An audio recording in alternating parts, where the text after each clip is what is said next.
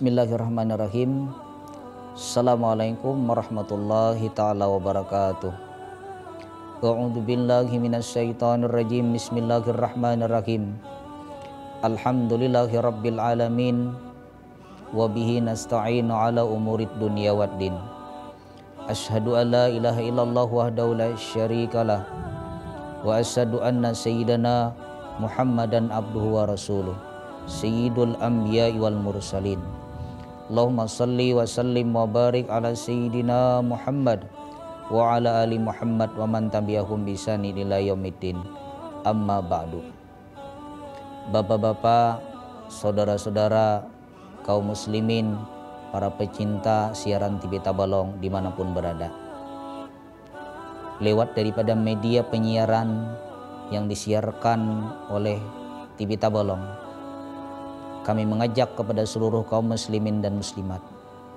Marilah kita mengucapkan rasa syukur kita kepada Allah Subhanahu wa taala yang telah memberikan kepada nekat kepada kita nikmat iman, nikmat Islam, nikmat ihsan, nikmat waktu, nikmat kesempatan dan juga nikmat kesehatan sehingga kita mampu beraktivitas baik kita dalam keadaan senang maupun dalam keadaan susah.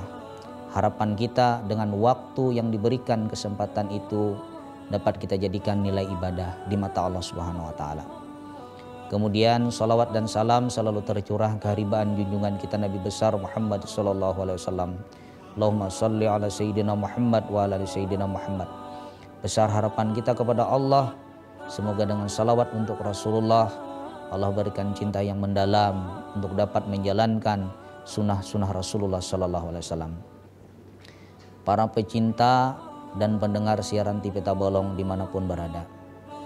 Di dalam kegiatan hari ini, di siaran TV pada hari ini, kami akan mengangkat tema yang lagi viral di tahun sekarang adalah judi online.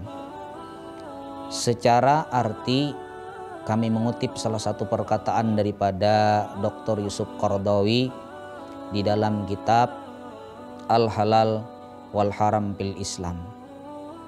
Beliau menjabarkan judi itu dengan kata-kata segala permainan yang mengandung unsur taruhan, harta dan materi di mana pihak yang menang mendapatkannya.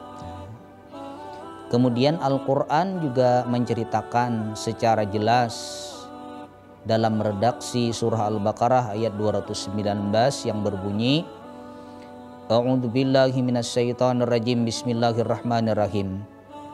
Yas'alunaka 'anil khamri qul fihima ismun kabirun. Yang kedua dalam Al-Qur'an surah Al-Maidah ayat 90 sampai kepada 91 Ya amanu innamal khamru wal maisiru wal ansabu wal ajlamu rijsum min amali syaitan. Fajtanibuhu la'allakum tuflihun. Yang artinya wahai orang-orang yang beriman sesungguhnya khamar ataupun minuman keras berjudi berkorban untuk berhala dan mengundi nasib dengan panah yang kesemuanya adalah perbuatan keji dan perbuatan daripada syaitan. Pajitanibu maka hindarilah daripada pekerjaan tadi semoga kamu mendapatkan golongan kepada orang-orang yang beruntung. Para pencinta siaran TV Tabolong di mana pun berada. Sedikit kami akan kemukakan tentang bahaya daripada judi online. Judi di zaman Rasulullah mungkin tidak signifikan seperti judi-judi sekarang judi di zaman Rasulullah kata Yusuf Al-Qardawi dikatakan nat dashir yang artinya dalam bahasa Persia adalah dadu. Sekarang ini berkembang zaman yang begitu canggih, terkadang para penikmat ataupun bisa dikatakan orang yang sudah terjerumus kepada judi online dengan sangat mudah mengakses permainan-permainan yang melanggar hukum-hukum Allah. Di mana dengan duduk santai di rumah, dengan Android yang dipegang, kemudian dengan deposito yang dimiliki, Terkadang uang yang mengalir masuk kepada rekening adalah hasil daripada permainan daripada judi. Maka daripada itu bahaya yang pertama daripada judi online adalah kecanduan hingga meningkatkan resiko terpapar daripadanya e, bunuh diri. resiko yang kita lihat banyak terkadang dalam kehidupan kita terlihat orang stres karena uangnya telah habis untuk permainan yang melanggar hukum Allah.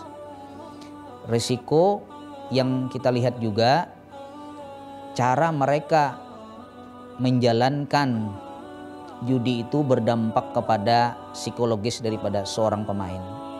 Apabila dia merasa kalah, terkadang rasa minder, rasa tidak percaya diri, itulah hal-hal dampak yang bisa menjadikan resiko orang bisa bunuh diri. Nah, yang kedua, kian terpuruknya kondisi keuangan diri dan keluarga. Ketika uang habis dibelanjakan untuk judi, maka hasilnya untuk anak dan istri tidak tercukupi. Timbul permasalahan di dalam keluarga. Uang yang ayah cari uang yang ayah kumpulkan pertanyaan daripada seorang daripada istri ke mana ayah pergunakan terkadang sifat kejujuran daripada seorang suami sangat sulit untuk melacak seorang pemain daripada judi online yang ketiga memicu tindakan kriminal dan membahayakan daripada orang lain terkadang ketika selesai permainan maka timbul perkelahian timbul saling memaki timbul ingin menghilangkan nyawa daripada orang yang ketika merasa menang sedangkan yang satu merasa kalah. Bahkan pada saat ini kami lihat dan kita bisa saksikan di mana-mana ketika acara nonton bola bareng antara pemuda, antara orang tua yang sebenarnya permainan itu sah-sah saja dalam kehidupan kita. Tapi ketika diisi dengan kegiatan yang melanggar hukum Allah yang mereka tahu ruhan ketika berapa skor daripada pemain sepak bola di antara dua klub yang memainkan bolanya maka di situlah perjudian itu ada. Maka ketika permainan tadi sudah dikerjakan dan dilaksanakan dengan beberapa orang di situlah cikal bakal uang itu akan habis mereka berani taruhan kalau satu klub yang menang satu juta maka yang lain ada kalanya bisa mendapatkan 2 juta apabila taruhan nomor angkanya menjadi menang. Kemudian yang keempat, pelanggaran privasi dan tersebar luasnya data pribadi kita. Ketika menggunakan WhatsApp ataupun media-media game online, kemudian berbasis multimedia, terkadang sulit untuk terlacak. Tapi bila sudah terlacak ataupun tertangkap daripada pihak yang berwajib, terkadang wajah kita, keluarga kita, data pemakai daripada seluler pasti mereka mengetahui. Ini orangnya, alamatnya di sini yang kesemuanya berdampak pada kehidupan sosial kita. Yang kelima, rusaknya hubungan baik di keluarga dan pihak lain. Ketika seorang yang punya keluarga melihat satu keluarganya terdampak daripada judi online, maka terkadang mereka ingin menghindar karena rasa malu di dalam masyarakat dicap itu adalah orang yang senang dengan judi. Terkadang judi mereka ahli ibadah. Terkadang mereka sholat. Terkadang mereka puasa. Karena semuanya itu adalah permainan yang dapat menguntungkan untuk urusan dunia. Tapi orang yang selalu dekat dengan Allah tidak mungkin mengerjakan sholat dicampur baur dengan perbuatan yang melanggar hukum Allah Subhanahu wa taala. Yang keenam, terjebak lingkaran setan dan pinjaman online yang ilegal. Ketika seorang penjudi tidak mempunyai apa-apa lagi, uang tidak ada, maka terkadang bandar menawarkan tawaran yang lebih tinggi. Kalau saya berikan tawaran mungkin satu juta, kau pasti bisa bayar menjadi dua juta. Ketika menjadi orang yang kalah di dalam perjudian tersebut maka denda menjadi membengkak. Terkadang pulang bisa rumah tergadai, kendaraan tergadai dan semuanya adalah dampak sosial yang perlu kita hindari. Yang ketujuh, anak terancam putus sekolah dan kehilangan masa depan. kita sebagai orang tua, baik itu suami ataupun istri, kita menginginkan anak dan keturunan kita menjadi orang-orang sukses. Bagaimana masa depan mereka kalau uangnya kita habiskan dengan judi online? Bagaimana pendidikan mereka kalau uangnya digunakan hanya untuk judi online? Karena masa depan anak kita adalah kebahagiaan untuk kita. Jadi para pendengar dan masyarakat di mana pun berada, sekali lagi jangan sampai kita terjerumus kepada John Day online karena bahayanya sangat-sangat luar biasanya dan memberikan dampak bagi kehidupan terserta kemudaratan dalam kehidupan kita. Kami berpesan kepada pemerintah, pihak yang berwajib, seluruh elemen-elemen masyarakat, mari kita sama-sama bekerja sama untuk menjaga keutuhan masyarakat kita dengan menghindari judi online. Mari kita lanjutkan pada sisi yang kedua.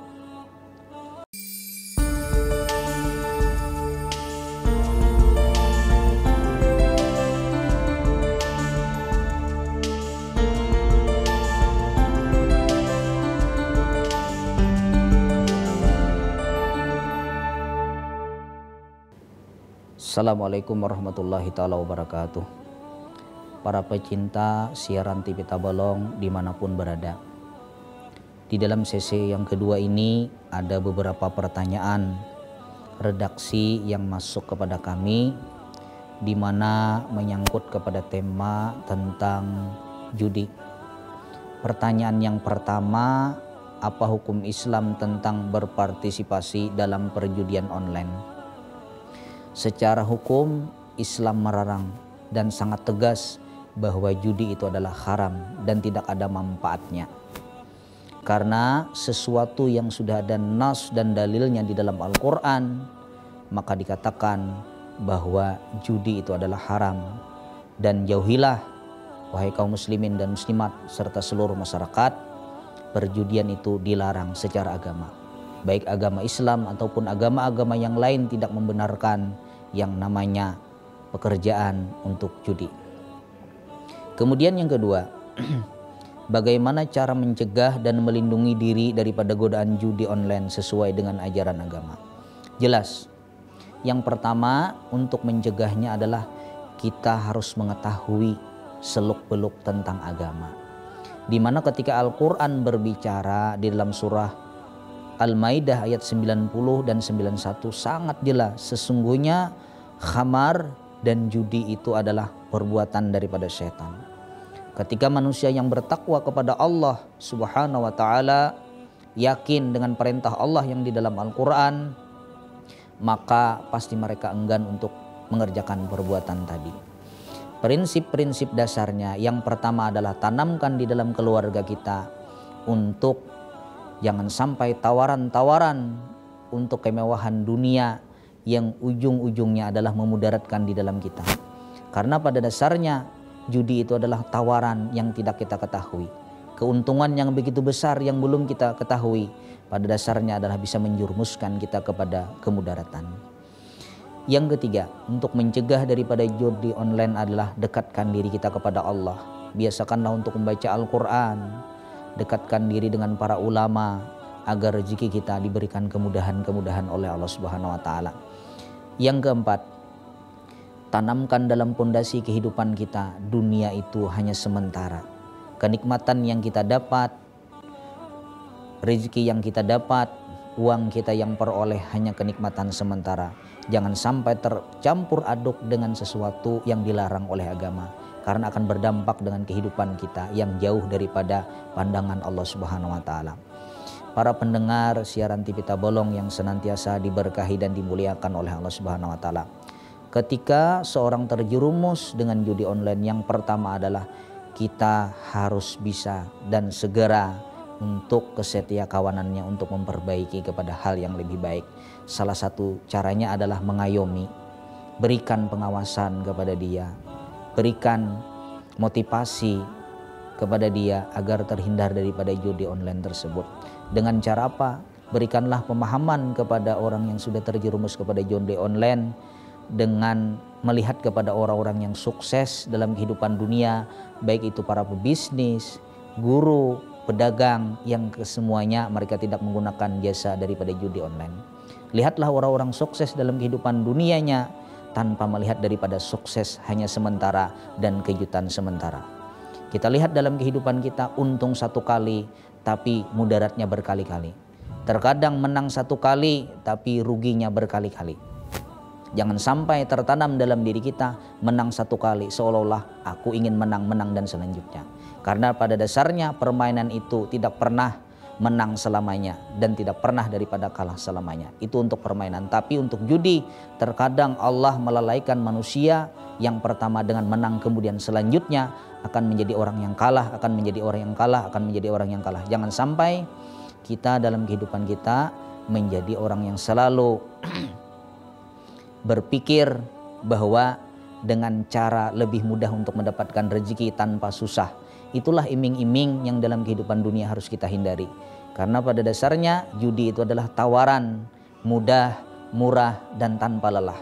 Tidak ada kata di dunia ini untuk menjadikan orang sukses itu berkata-kata seperti cukup duduk di meja saja, cukup duduk menggunakan HP saja maka akan dapat keberuntungan.